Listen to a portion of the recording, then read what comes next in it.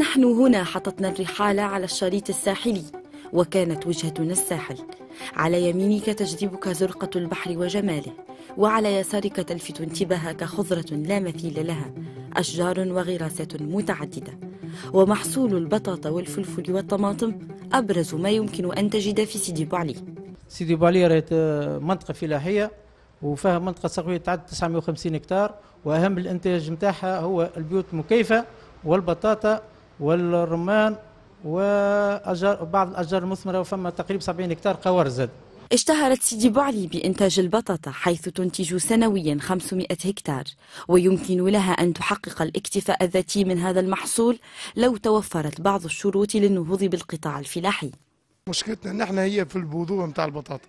بطاطا الدولة تجيب لنا فيها ب 15 تجيب لنا فيها ب 15 وبعدين تجي تبيعها ب 400 حتى بالله تنتج على 8 و10 ما تقطعش. مش. فحكاية الزيادة.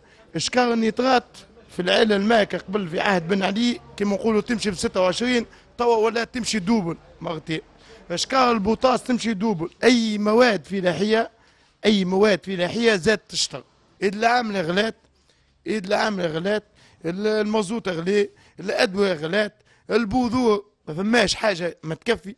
عمري كله في الفلاحه وابني توا صغير عمره 35 عام 25 عام. تقهر مش يموت. أنا مش يسلم هون. نوفر له في جميع المذهب. ما هوش لاقي له يجي يخلص تاكس يلقى النار تشعل.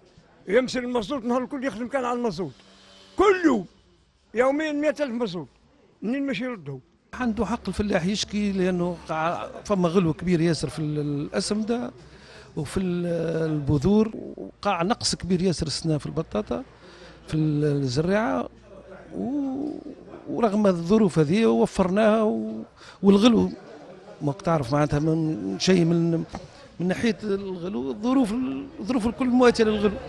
الاصلاح الزراعي ما فما شوية إشكالية تشتت الملكية وفما شوية وفما شوية نقص في المياه نتاع تشتت الملكية؟ احكي الملكية تلقى الواحد عنده قطاع مفرتة. في وسط المنطقة السقيه قطاع ثلاثة قطاع مفرتة. قاعدين والله مازلنا عملنا اليوم برك اجتماع مع الإخوة الإصلاح الزراعي المدير الجهوي نتاع الإصلاح الزراعي نهار 2 جوان آه، جويليا للحل المشاكل هذه نتاع حكاية الإصلاح الزراعي وإن شاء الله وعدنا. إن شاء الله كل بشوف كل كل كل فلاح شنو المشاكل ويحل بالمشكلة بالمشكلة إن شاء الله. الماء وما أدراك ما الماء. لا تستقيم فلاحة ولا تزدهر إلا إذا توفر الماء. وهنا في سيدي بوعلي يعاني الفلاح من قلة الموارد المائية وغلاء أسعارها. الماء 100 تو 140 فرنك. وثم في وثم خارج المشروع 160 بالنسبة لحكاية الماء ياخذوا فيه كجمعية تاخذ فيه ب 90 فرنك. تبيع فيه ب 140 فرنك معناها normalement جماعة الإدارة ما نعرفش تعمل. بالحق كإدارة ما نعرفش تعمل. الفلاحة تعمل. يعلم الله تعمل. شيخ لكن هذا كوم نشيروا فيه. إحنا متكلف برشا. مدعم راه وظيفه تو 140 مليون ومدعمته الدولة راه مدعمة فيه الدولة. دعم كبير الدولة فيه. هذه الأراضي الفلاحية الشاسعة مهددة بالإندثار جراء التجاوزات الحاصلة بسبب شركة تربية الأسماك والتي تفرز كمية هامة من المياه المعالجة يتم إخراجها وإلقاؤها في الأراضي المجاورة إلى أن تكونت سبخة وأصبحت مرتعا للحشرات وغطت هذه الأراضي. وبالتالي أضرت بالبيئة خاصة وأن منطقة حلق المنجل صنفت مؤخرا من بين المحميات الطبيعية لاحتوائها أنواعا من الطيور النادرة والمهددة بالانقراض. الشركة ذي الله يسامح اللي كان السبب اللي جا فيها ومعناها رغم ما جاتها الثورة ذي وما زالت الأمور معناها مطفية الضوء جملة على هالمنطقة معناها حتى إنسان محبي يتلفت لها لا مسؤول لا نطاق من الولاية لا حتى واحد بالنسبة الشركة ذي متسببة في الوضع البيئي مزري مزري للغاية. الوضع البيئي اللي تصب فيه الماء المسخ يصب في الشركة في صبخة حلق المنجل.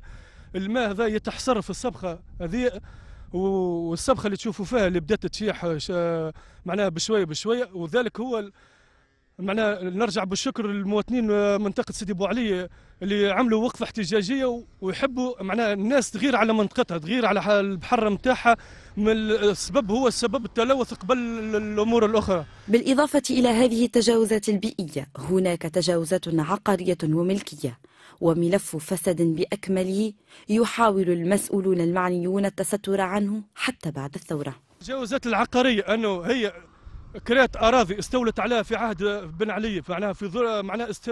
الشركة ذي استفادت والوكالة ذي استفادت من القانون آه، بن علي. معناها يبرمجوا أمور في الرائد الرسمي ويصحوا عليها وبعد يجوا ينفذوها فماش أرض صلبه تولي سبخه إلا بفعل فاعل نحوا لها سبخه أرض الصلبة هذه ردوها سبخه وعملوها DPM تصور أنه الملك العمومي البحري العلامات التحديد نتاع الملك العمومي البحري تبعد 300 متر و400 متر على الشريط الساحلي. هل هذا هو الشريط الساحلي؟ المشروع هذا كامل بزوز ملايين و880 الكراء نتاعو معناها 48 هكتار.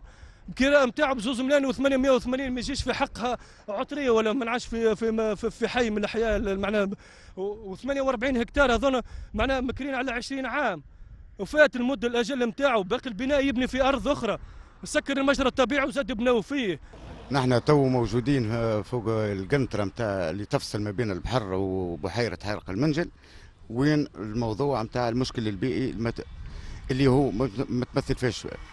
متمثل أنه المنفذ الطبيعي من البحيرة للبحر آه، فيه معناتها وقع السدين نتاعو من طرف شركة تربية الأسماك وم... و... وتسب فيش مش يتسبب يعني مش تسبب أنه آه، البحيرة ما عادش تفرخ. وقاعدين يضخوا في المياه من البحيرة في صلب من من شركه تربية الأسماك في البحيرة. هذا طرف ل... للادعاء الأول. الادعاء الثاني شركه تربية الأسماك تقول لك لا راهم البحارة على مستوى القنطرة يسكروا المياه باش يدخل وقت اللي يدخلوا لهم الحوت باش يصطادوا آه، البحث لهنا قمنا مع صاحبة السيد معتمد آه، سيد ابو علي وعملنا جلسة في آه، معتمدين سيد ابو علي واستدعينا لابال وكالة حماية الشريط الساحلي واستدعينا اللي معناتها المجتمع المدني و...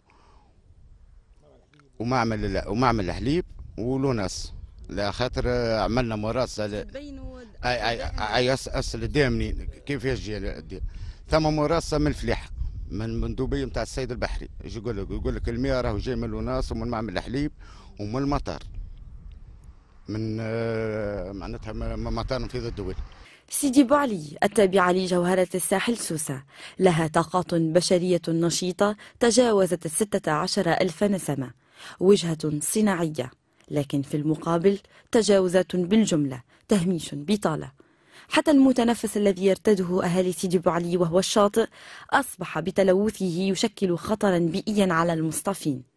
الشاطئ متاعنا خذاه هنا كل دريس ما نجموش نعوموا فيه بالروايح بالروايح متاعه تاع تربية الأسماك وتوا السلطة أخذت موقف موقف. حتى عمل القنطرة ما نجموش حتى نتعداو فوقه ما نجموش ندخلوا حتى للبحر نعوموا نحن. الشط نتاع سيدي بوالي يتسمى المتنفس نتاعنا الوحيد معنا في سيدي بوالي ما عندناش حتى متنفس آخر.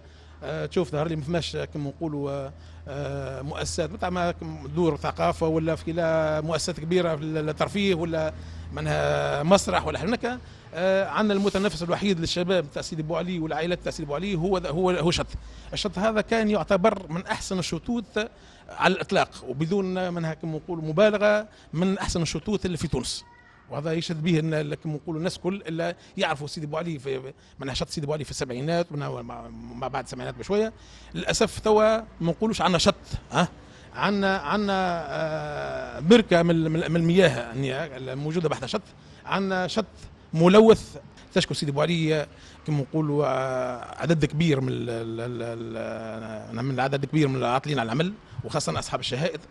هذا الحقيقة ما ينجم نقولوا يرضي آه، أهالي سيدي أبو علي وشباب سيدي أبو علي خاصة إلا منطقة صناعية الحقيقة آه، يكون فيها معناها أحداث مواطن شغل كبيرة. هذا التهميش انعكس على أسلوب الحياة في سيدي بو علي وطال دار الشباب بالمنطقة التي تضم أنشطة مختلفة ويمكن لها أن تستقطب الشباب والأطفال لكن تنقصها الإمكانية والتجهيزات اللازمة لتكون في مستوى تطلعات الأهالي.